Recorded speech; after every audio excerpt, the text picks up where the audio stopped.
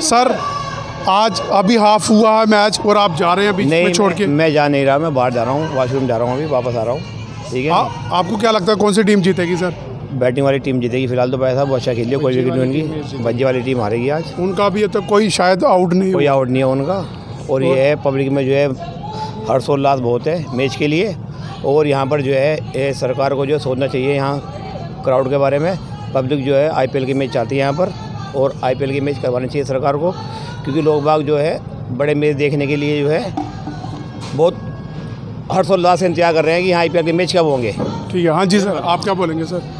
आप किसकी बैटिंग देखने आए थे यहाँ पर? मैं यहाँ पे सर हरभजन सिंह को एरन फिंच को सबको देखने आया था उपल तरंगा को हर एक बैट्समैन को देखने आया था। लेकिन सर लेकिन सर हरभजन तो ज़ीरो रन पे ऑल आउट आउट हो गया। सॉरी मैं आपको टोक रहा हूँ सॉरी सर मैं आपको इसलिए टोक रहा हूँ क्योंकि हमने सबसे ज़्यादा वी टिकट्स करवाई थी विद बफे वहाँ बफे है ही नहीं।